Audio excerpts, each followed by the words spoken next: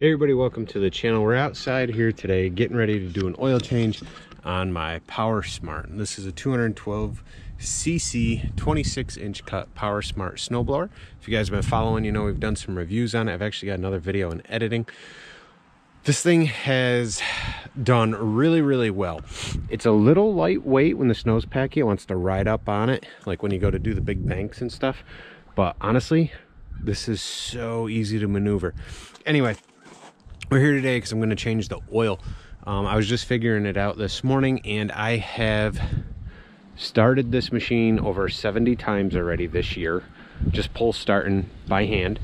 Um, so we've we've done at least 70 snow removal jobs. Now, what does that mean? That means sidewalks and driveways. That's what I've been doing. So one stop is usually a sidewalk and a driveway.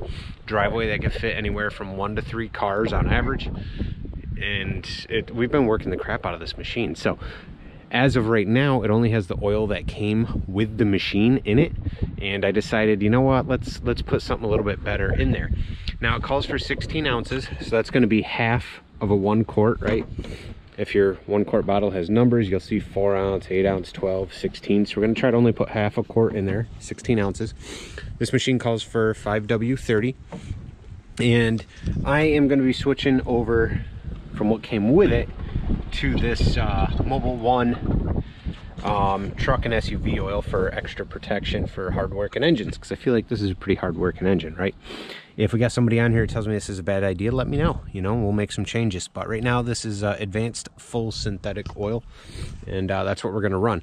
Now, I'm trying to get this done today because I spent 10 hours yesterday doing snow removal jobs with this machine, and we're supposed to have another storm late tomorrow afternoon. So I want to uh, swap this oil out because, you know, I just feel like it's it's probably probably due. So I'm going to walk you guys through uh, changing the oil on this machine. Give me a like, give me a sub, leave me a comment, and uh, let's get started. All right, guys, so I haven't changed the oil on this before, but uh, we've got an oil pan. I've got a long filler neck funnel, some rags, 10 millimeter ratchet wrench, and some oil.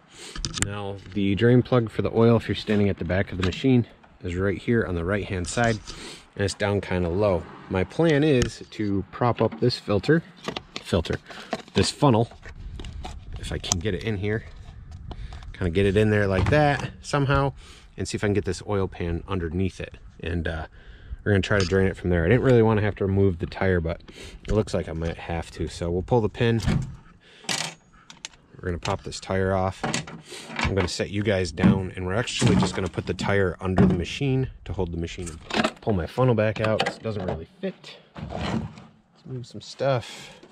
I'm doing all this right on the back of the truck because honestly, I don't really have a good spot to do any of this because my shop's for woodworking and everything else is all snowy. So tailgate's a good enough place as any, in my opinion.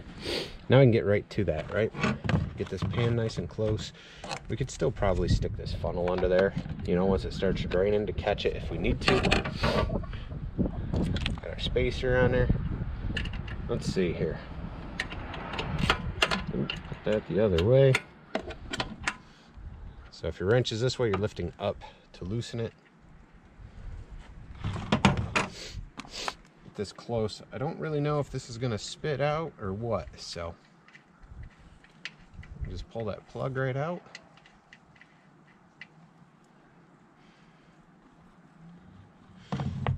And boom, we'll get that little, there we go. We'll get that on there just right. That looks like a hot mess. Barely coming out. Let's undo this here. The wind's even blowing it. Oh my gosh. That oil is fried. not too worried about getting oil all over my truck, guys. Just want to figure out a better setup here, though.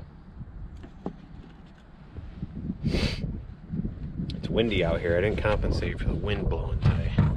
Should have though. It's winter time, you know. Yeah, so this oil's had it. You can see it. It's done.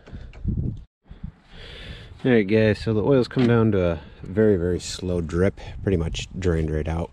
Um, it is a good idea to uh, fire up your machine, let it run for maybe a couple minutes before you uh, go and hit the plug pull the plug out. Um, I forgot to do that, so the oil is pretty thick. But if you warm the machine up, the oil will be thinner because it's hot. Be careful, obviously it'll be hot, but it'll drain that much easier for you. Then you get down to about nothing in there, you just got to put your plug back in and refill.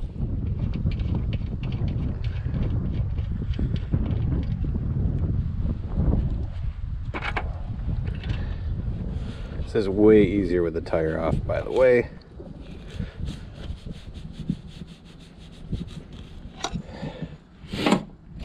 This is also like a dipstick for the oil. I had pulled that out just to help it breathe and drain. Just like I undid the cap up top that says oil. Helps with air helps the air flow through, helping the oil drain easier as well. But when you tip it, like I did originally with this out, oil comes right out of there too. So just be prepared for that. Now I've got a good mess on my tailgate, which isn't a big deal because it'll just help prevent against rust. I will clean that up a little bit before we are 100% complete.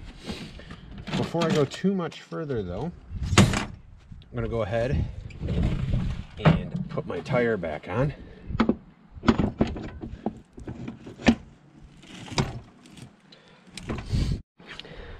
All right guys, so if your axle has the plastic spacer on it like they're supposed to, um, you might have to use a, a finessing tool to uh, get your rim on the axle all the way and then just work that back in. Make sure you put your snap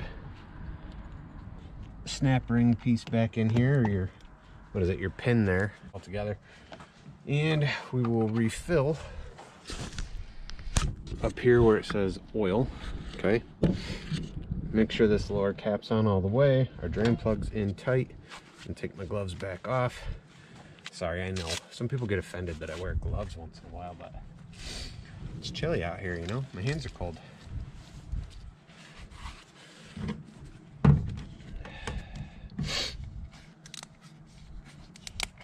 I'm gonna try not to overfill this, which should be fun. So looking at this, right, this, this bottle at least, I got four ounces. So then I know it goes to eight, 12. So I know this line is 16. So it should be 16 above. So we're gonna empty to this line roughly. At least that's the plan. We, uh, you know how plans go. Sometimes they work and, well, sometimes they don't. Pull my, my dipstick out. See what kind of mess we can make.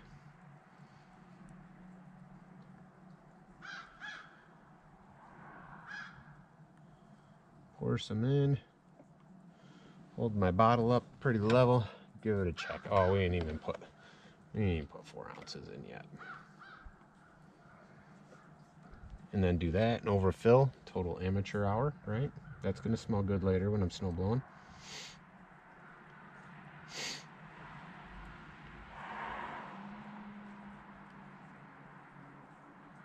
So we just wasted some, so we'll compensate for that.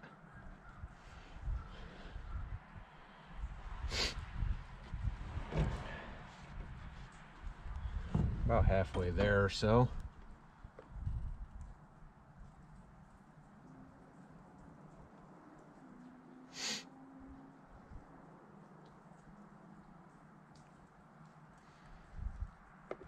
Always easier to add more than it is to uh, take it away take it away, you got to pop that drain plug, try to pour it out. We got about three ounces left to go. So I'm just gonna keep pouring a little bit, checking. We're about there, but I know I had spillage, so.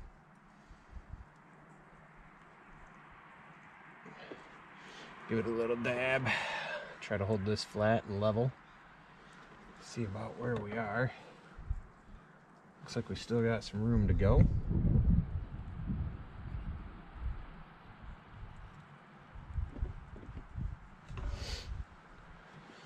All right, put a little bit more in than I needed according to the levels on the bottle, but like I said, we spilt quite a bit up there.